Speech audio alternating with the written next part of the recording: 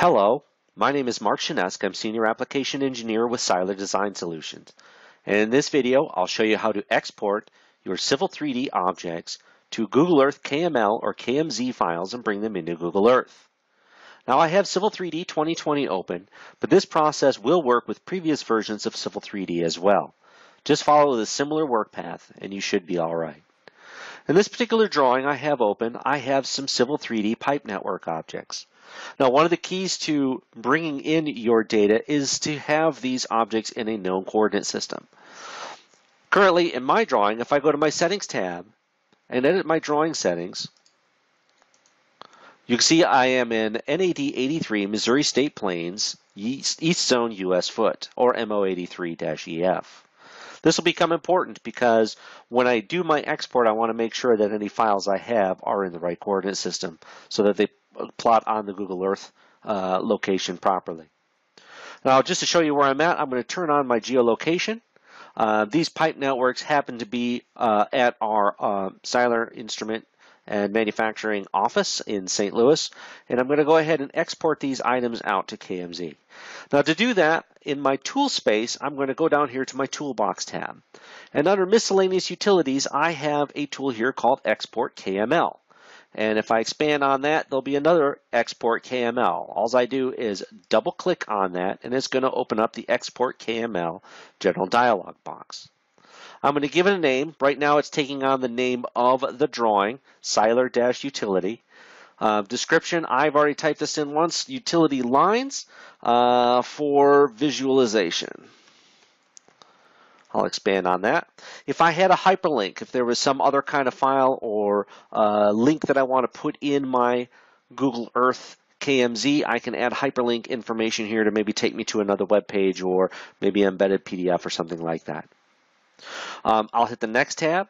And under objects, I can either select all objects or I can choose selected objects. And if I choose selected objects, I'll hit this button with the plus sign here and it'll let me choose objects either individually or by drawing a window in my drawing. If I had text items, I can select that to export the text. Um, I am going to add the object information to it. And if I had materials like concrete material for this concrete pipe in the storm sewer, I could check on that and it would export the materials as well.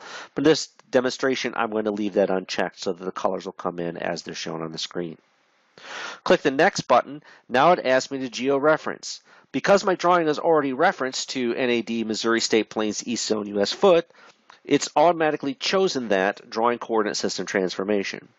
If I was in some other local coordinate system, I could click this button right here and transform my drawing to match the location if I had those transformation calculations available to me. If I hit the next tab, I can also nudge these. If I've done this maybe one or two times and it doesn't quite match up what I'm seeing on Google Earth, I can go ahead here and change, maybe nudge something north, south, or east or west. Um, but I'm going to leave this as is. And the elevation, um, I have three choices. I can have the elevation relative to the ground.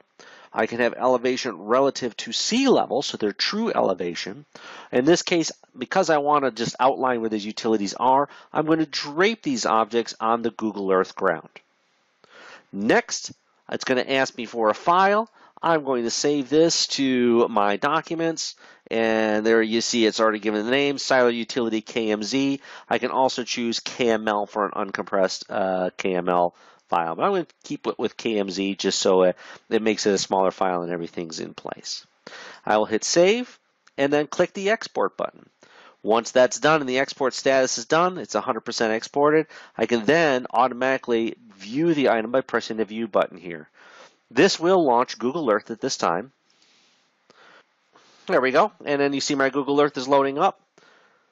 And because it's a little hard for me to find it here, um, one of the things I have noticed with this process is it does zoom you way back out, but you can modify those zoom limits as you go.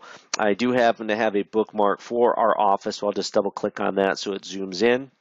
And you can see it's added that Seiler utility to my temporary places. And as I zoom in, then you can see those pipe network objects are now displayed in my Google Earth drawing. And that's just about it. Um, you can use this for uh, sending this out to uh, other interested parties, or just keeping track, or doing your planning purposes, uh, or other types of visualization. And I hope this helped. If you have any questions, please feel free to email me at mschnesk at seiler-ds.com. Please follow us on our blog at www.seiler-ds.com forward slash blog. Uh, and I hope this has helped and have a great day. Thank you very much.